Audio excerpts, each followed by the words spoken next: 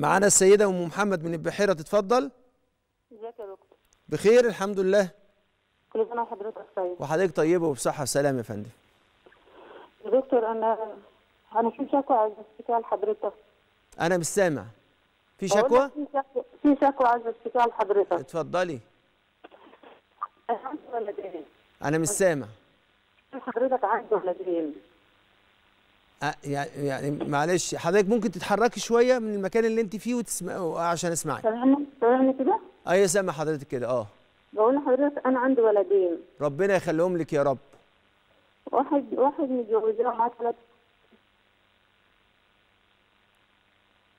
بيستمر الثاني بيحصل معاه أستاذة ام محمد أنا يبدو لي إن قد يكون المشكلة عندي بس أنا أنا فعلا عايزك تتحركي شوية. حضرتك سامعني كده؟ أيوه اتكلمي بقى بالراحة كده. اتفضلي أنا سامعك كده. اتفضلي يا أم محمد. بقول لحضرتك الأولاني اللي هو الكبير ده قاعد لوحده بعياله. طيب. والثاني قاعد آه، كان قاعد معايا. آه يعني أنت عندك الولدين متجوزين. واحد قاعد لوحده هو وعياله والتاني قاعد معاكي واحد عازل واحد متجوز طيب يا ستي. ال- العازل العازل ده هو بيشتمني لا لا حول ولا إلا عليا. بالله. أعوذ بالله من الشيطان الرجيم. ماشي؟ لدرجة إن هو لدرجة إن هو يعني بيشتمني شتيمة وحشة. لا حول ولا قوة إلا بالله. طيب يا أم محمد. أنا بدعي لهم يعني أنا مش عارفة أنا مش عارفة أنا قاعدة ولا مش عارفة. معلش يا ام محمد نرجع تاني لنفس المكان اللي أنت كنت فيه عشان أقدر اسمعك هل حضرتك بتدعي عليه؟ أنا مش فاهم أنت بتدعي عليه؟ لا أنا ما بدعيش عليه. أمال إيه؟ أنت بتقولي إن هو والعياذ بالله بي- بيشتمك شتيمة مش كويسة وبيضربك والعياذ بالله. بيمسك فيا. بيمسك فيا يعني لو مسكت فيه يمسك فيا. لو مسكت فيه هيبقى حرام عليك يعني؟ أنا بحاول أخمن أنت بتقولي إيه. لا لا لا أنا أنا بقول لحضرتك يعني أنا بقول لحضرتك أنا بدعي لهم. أنا مش عارفة أنا بقى ما بتجيبش ولا في إيه. أنا بدعي لهم يعني. طيب فين السؤال يا أم محمد؟ السؤال هم دلوقتي بيقولوا له اقعدي لوحدك ماشي؟ طيب. ومش عايزين يصرفوا علي. طيب. يعني أنا مش أنت عندك. مصدر أنت أنت عندك ورث عندك فلوس تصرفي على بيها على لا، نفسك؟ لا, لا. ما عنديش. طيب فأنت بتسألي هل يجوز إن هم يسيبوكي من غير ما يصرفوا عليكي ولا لا؟ هجاوب حضرتك يا ام محمد. هو ده آه. سؤالك؟ آه. هجاوب عليك يا ام محمد. بص يا ام محمد إحنا عندنا الفرع والأصل إن الفرع اللي هو الأب وإن علا والأم وإن علت لو وال- والفرع كذلك. لو حد فيهم افتقر وما قدرش يصرف على نفسه لا يجب عليه على فرعه أو أصله ان هو ينفق عليه. إذا كان هو قادر على النفقه عندنا شرطين الشرط الأولاني إن الشخص ده ما يكونش قادر على الاكتساب والشرط الثاني إن هو يكون افتقر مش قادر لا معاه فلوس وهو ما يكونش قادر على الاكتساب. فإذا كنت أنت مش قادره تكتسب مش قادره تشتغل ولا تكتسب المال لسبب أو لآخر ما عندكيش ما تعل... ما تعلمتيش حاجة أو ما عندكيش فرصة تتعلمي أو ما عندكيش أداة ومش عارفة تكتسبي وأنت كمان ما عندكيش فلوس آه يجب عليهم إن هم ينفقوا عليكي طب لو ما ينفقوش عليكي وهم قادرين إن هم ينفقوا عليكي يبقوا آثمين شرعا. يبقى آثمين إيه؟ شرعا. لقوله تعالى وقضى ربك ألا تعبدوا إلا إياه وبالوالدين إحسانا. فذلك أمر من الله سبحانه وتعالى أن يحسنوا اليك.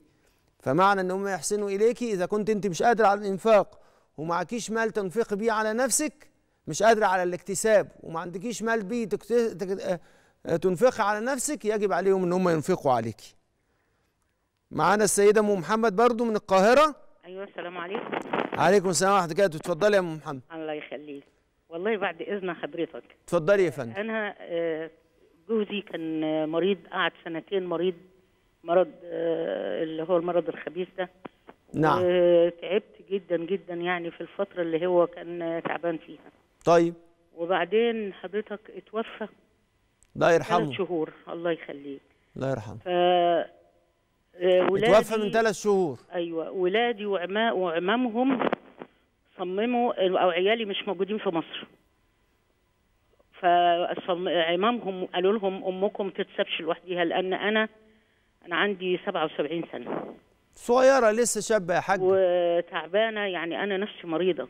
طيب وما ألف سلامة. حد لا بيخدمني ولا حد بي كده يعني. ألف فقالوا سلامة. لهم أنا ما كنتش أعرف الموضوع ده. قالوا لهم لازم أمكم حد فيكم ياخدها معاه. ما تسيبوهاش وأنتوا ماشيين. فخدوني. وما يعني أنت سافرت البلد يعني؟ أيوه سافرت بره مصر. بره مصر بره في آه. الخارج يعني. أيوه. فأنا لما رجعت أنا قعدت شهر وشوية. لما رجعت أنا فوجئت الناس بيقولوا لي آه المفروض ما كنتيش تسيبي البيت. طيب أنا هكلم حضرتك أنت عايز تعرفي الحكم دلوقتي. آه الله يبارك لك لأن بصي يا ما بصي- تعبانة قوي. طيب وا- وا- واحدة واحدة بس هدي. بالك دلوقتي. اتفضل. أنت دلوقتي خليني أمشي معاكي خليكي معايا على التليفون دلوقتي شوية عشان. أسأل. أنت دلوقتي عندك علاج بتاخديه بتاخديه؟ أيوه. طيب أنت بتقدري تخدمي نفسك ولا لأ؟ بقدر أخدم نفسي. بس ما أقدرش أنزل أجيب حاجة. هل حد ممكن يجيب لك الحاجة في البيت؟ صعب صعب حضرتك. يعني ما حدش يقدر يجيب لك الحاجة في البيت. لا صعب. وفي نفس الوقت طب أنت ممكن تت... معلش. اسمحي لي اسمحي لي بعد إذن حضرتك ربنا يحفظك من كل مكروه الله يخليك يا رب أنت لو قاعدة لوحدك ممكن تتعرضي للخطر لوحدك؟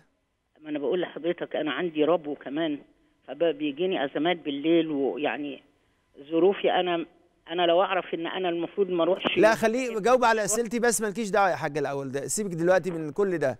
وعشان كده أنا مخليكي معايا على التليفون عشان أسألك. أنت ممكن تتعرضي للخطر لو إنك أنت عايشة لوحدك؟ ال- الخطر ده بتاع ربنا. أنا أيوه أيوه يا حاجة يعني أنا بقول لك يعني ممكن تتعرضي لأزمات ربو ربو أيوه أيوه أز- أزمات ربو وتبقى خطر عليك أيوه بالظبط كده. هل أولادك مش ما يقدروش يوفروا لك جليس يبقى معاكي؟ لا ما حدش جاب السيرة دي خالص. هو كل اللي زي ما قلت لحضرتك عمامهم قالوا لهم أمك ما تسيبش الوقت ما تسيبش الوقت. طيب يا حاجة خليني بس أقول لحضرتك حاجة. لو كنا قادرين نوفر حد يبقى معاكي هنا في بيتك و و و وما تخرجيش من بيتك آه، مش ما مش ما تخرجيش ما تسافريش أيوه. لكان ده الأولى. طيب. أما وإن إحنا عملنا الكلام ده وإحنا مش عارفين الحكم دوت لا وإحنا مش بس مش عارفين الحكم ده إحنا معتبرين ان إحنا بنحافظ على صحتك لازم تركزي معايا يا حاج. أيوه معاك. هم معاك. عملوا كده لأن هم شايفين إن هم خايفين على صحتك من إنك انت يحصل لك أي خطر. أيوه. فهم نقلوكي إلى ما يسمى بالسكن الآمن. إحنا عندنا المرأة المتوفى عنها زوجها أيوة. تعتد أربعة أشهر وعشرة في في بيت الزوجية الذي توفى عنها زوجها اللي هو البيت اللي انت اللي انت رجعتي له دلوقتي يا حاج. أيوه. أما وإن أنت بقائك في البيت ده كان في تقديرك وتقديرهم إن ده فيه خطر على حياتك؟ أيوه. فخروجك لبيت آمن ده جائز. اتفضل. يعني خروجك إن أنت خرجتي إلى بيت آمن ده جائز. أيوه. وليس معنى إن أنت لما خرجتي إلى بيت آمن إن أنت لازم تفضلي فيه على طول. لا أنت خرجت البيت آمن لغاية ما بقت صحتك و و وإن أنت إن شاء الله ما يحصل لكيش أي نوع من أنواع آثار صدمة ما بعد الانتقال فلما اطمأنوا عليكي رجعتي تاني إلى بيتك اللي انت فيه دلوقتي. أيوه اتفضل. هو ده اللي حصل؟ أيوه بالظبط كده. طيب يا ستي انت ما عليكيش إثم. ولا اللي حصل دوت فيه حاجة. إحنا اللي عملنا إحنا زي بالظبط واحد تعب وأخدناه في المستشفى عشان نحافظ على حياته. فانت يا حاجة محمد انت ما عليكيش إثم ولأن انت خرجتي إلى بيت آمن لأن حفظ النفس هو المقصد الأول من مقاصد الشريعة. ولذلك إحنا لازم نحافظ على أنفسنا ولا نلقي بأنفسنا إلى التهلكة بما إنك أنت مش قادرة تخدمي نفسك. وفي خطر على حياتك لو بقيت لوحدك مع السن اللي حضرتك فيه ده وإن ما حدش هيقدر يخدمك غير أولادك فرحتي مع أولادك فلما اطمئنوا على صحتك وممكن يكون الظرف اللي حواليك اتغير رجعتي إلى نفس المكان تاني فلا بأس. وإن شاء الله ما يكونش عليك إثم إن شاء الله.